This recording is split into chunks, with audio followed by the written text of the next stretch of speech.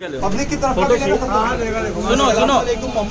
हमारे कोयलाली गली के अंदर हमको बिना बताए ऐसी जगह भेजा जा रहा था माहौल गाँव। इसका हमने विरोध किया और अभी हमको वापस बुलाया गया। रात में साढ़े ग्यारह बजे नोटिस लगी। जब पूरे लोग तरावी पढ़ के सो जाते हैं, तब रात में साढ़े ग्यारह बजे नोटिस लगी कि आप सुबह ग्यारह बजे हमारे पास आ जाइए। और सुबह बहुत से लोग हमारी गली के जो हम इबादत करते हैं, सुबह में शहरी में उठते हैं, रात में तरावी पढ़ते हैं तो बहुत से लोग सोते हैं एबसेंट होते हैं। लेकिन बीएमसी ऑफिशियल ने सीधा सीधा हमको एक ही जवाब दे दिया कि भाई, हमको नहीं पता आप आओ या ना आओ, हम आपको ले लेंगे।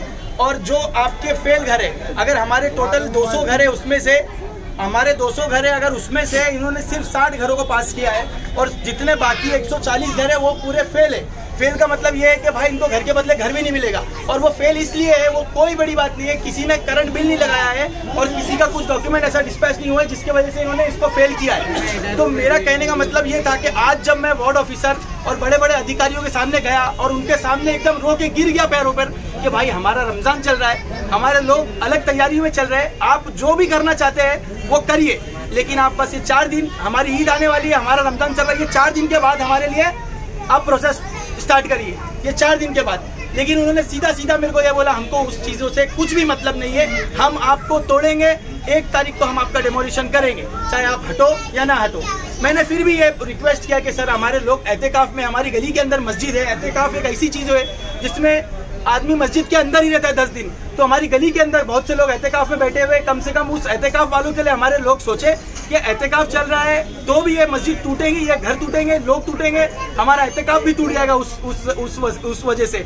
तो मैं सब लोगों से यही रिक्वेस्ट कर रहा हूँ कि भाई हमारे लोगों के साथ, हम बहराम वालों के साथ, हम कोयलाली गली वालों के साथ, हम रंगून वालों के साथ में गलत हो रहा है। तो हम सिर्फ़ आप लोगों से इतना ही चाह रहे हैं कि आप सब बहराम वाले, नौपाड़े वाले जो भी लोग इस चीज़ को देख रहे हैं बम्बई वाले यही चीज़ को देखे कि भाई हमको रमज़ान की ईद मनाने दिया जाए। जब हम लोग अपने घरों को सजाने लगने सजाने का टाइम है जब हमारे घर को सजाने का वक्त है जब ये बीएमसी हमारे घर को तोड़ने के लिए आ रही है तो मैं आप सभी लोगों से रिक्वेस्ट करता हूँ अल्लाह के वास्ते अल्लाह के वास्ते हमारी उम्मत का सा, हमारा साथ दीजिए और हमारे लिए आइए आगे बढ़कर।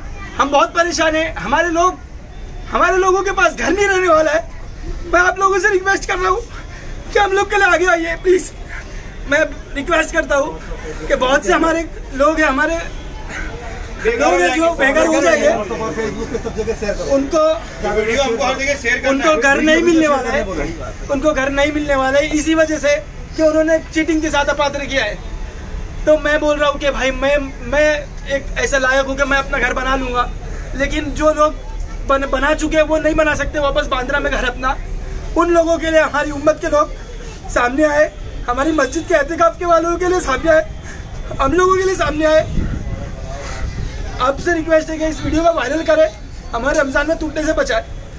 असलकुम ज़्यादा से ज़्यादा